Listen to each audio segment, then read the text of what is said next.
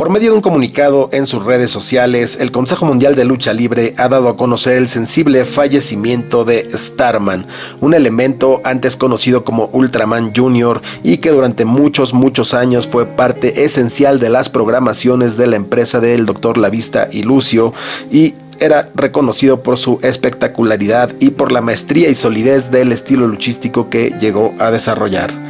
El comunicado dice, el Consejo Mundial de Lucha Libre se une a la pena que embarga a la familia luchística por el sensible fallecimiento de Starman, luchador que tuvo una destacada trayectoria como parte de esta organización.